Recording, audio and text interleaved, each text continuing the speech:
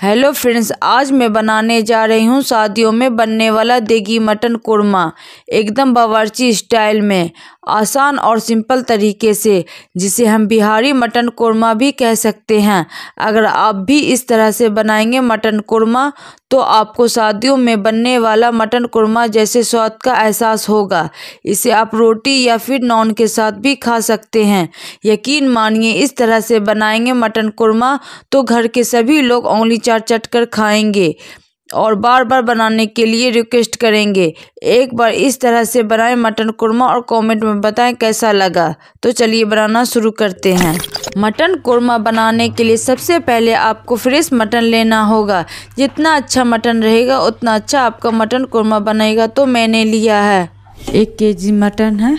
200 ग्राम प्याज है, जिसे हम पतले पतले साइज़ में काट लिए हैं। मटन कुरमा बनाने के लिए कुछ खड़े मसाले हैं। पाँच हरी इलायची है, दो दालचीनी का टुकड़ा है, पाँच लौंग है, एक चक्रीय फूल है, दो तेज पत्ता है, दस पंद्रह काली मिर्च है, सौ ग्राम दही है।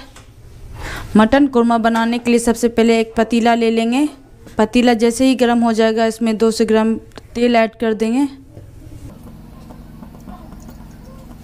तेल हमारा गर्म हो चुका है।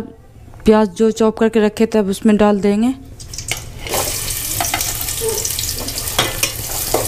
प्याज को गोल्डन फ्राई करना है।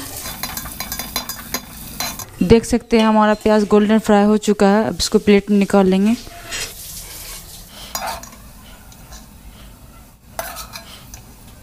प्याज को ज़्यादा फ्राई नहीं करना है। हल्का गोल्डन फ्राई करना है। प्याज हमारा गोल्डन फ्राई हो चुका है। अब इसको मिक्सी में दरदरा कर लेना है। अब इसको मिक्सी मिक्सी में डाल देंगे।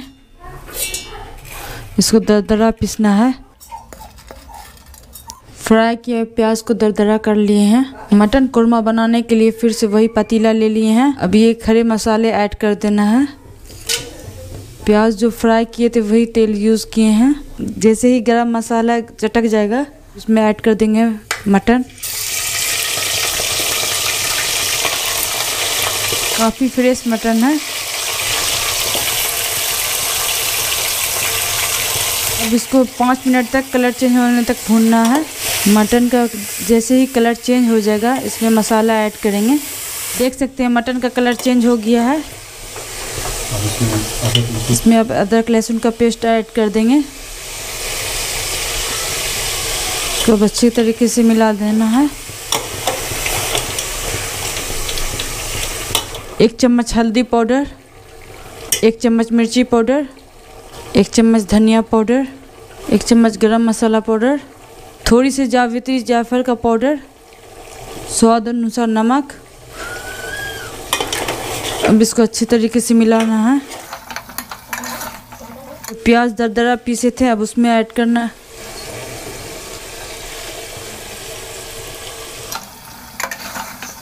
इसको अच्छी तरीके से मिलाना है। मटन कोरमा बनाने के लिए प्याज को दरदरा ही रखेंगे।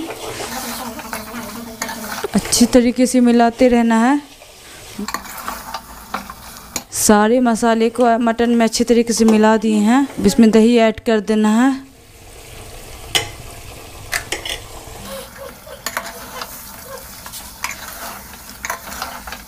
दही को अच्छे तरीके से मिक्स कर दिए हैं। अब इसमें एक गिलास पानी ऐड कर देना है। इसको अच्छी तरीके से मिला देना है। ढक्कन लगा देना है। दस मिनट के लिए धीमी आँच पे पकाना।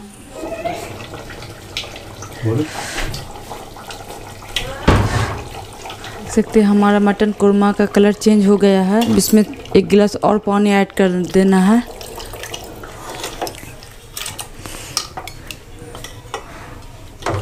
बीस मिनट हो चुका है। मटन कुरमा का कलर देख सकते हैं कितना चेंज हो गया है। अभी बीस मिनट और पकाना है। वीडियो अच्छा लगे तो वीडियो को लाइक कर दीजिएगा। चैनल को सब्सक्राइब कर दीजिएगा और फेसबुक पर देख रहे हैं तो पेज को फॉलो कर दीजिएगा। अभी हमारा मटन पूरी तरीके से नहीं गला है, कम से कम 20 मिनट और गलाना है। अब इसका ढक्कन बंद कर देना है।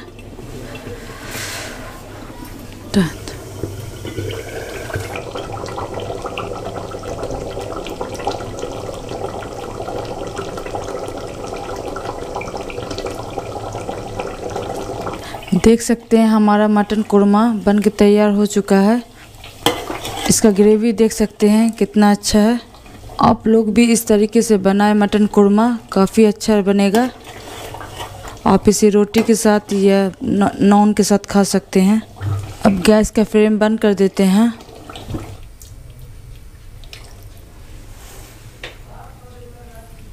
देख सकते हैं, हमारा मटन कुरमा कितना अच्छा बनकर तैयार हो चुका है। आप लोग भी इस तरीके से बनाए मटन कुरमा, काफ़ी अच्छा बनेगा।